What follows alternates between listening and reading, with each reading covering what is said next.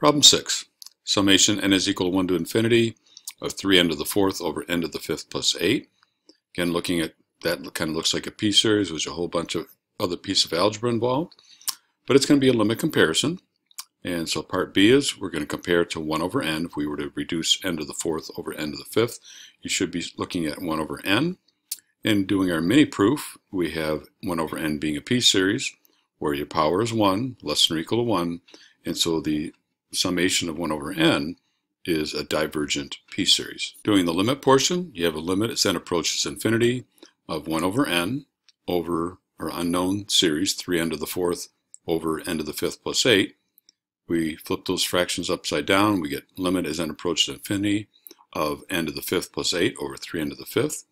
And using L'Hopital's rule or just seeing that the highest powers match up, we get a limit of 1 third and then we say that 0 is less than a third is less than infinity, or that one third is positive and finite.